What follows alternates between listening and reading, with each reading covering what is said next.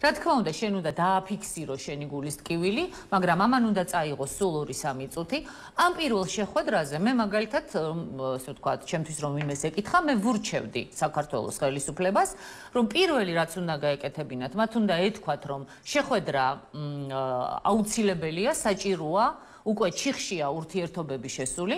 მოდით ჩვენ მოვამზადოთ შემდეგი შეხვედრა ფართომასშტაბიანი, სადაც თქვენ ილაპარაკებთ და დადებთ წინ დოკუმენტებს თქვენი წითელი ხაზების და მოთხოვნების და ასე ვთქვათ, მზაობის შესახებ, რაზე ხართ მზად, ჩვენ ჩვენსაც მოვამზადებთ და დავიწყოთ სერია შეხვედრების, რომ მივახციოთ შედეგს.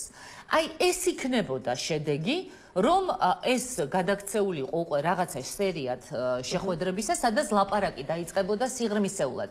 გარწმუნებთ, ასეთ შემთხვევაში შეიძლება ავია ფრენები აღდგენილიყო ავტომატურ რეჟიმში, იმიტომ რომ მე ვიცი რუსული მხარე მოწადინებულია და მზად არის რომ ავია რეისები აღადგინოს, მაგრამ დღეს ახლა ამ შეხვედრის შემდეგ ვეჭვობ თუმცა ავია რეისები ხომ არ არის ყველაზე მთავარი? არა, ყველაზე საერთოდ მთავარიდან არასოდეს არ იწებს არც ერთი ასე ვთქვათ სერიოზული პოლიტიკოსი ლაპარაკს, ჯერ უნდა მთავარს მოაშორო ის პრობლემები, რისი მოშორებაც შეგიძლია და მთავარის მთავარზე მოსალაპარაკებლად უნდა მოამზადო სერიოზულად ბაზა.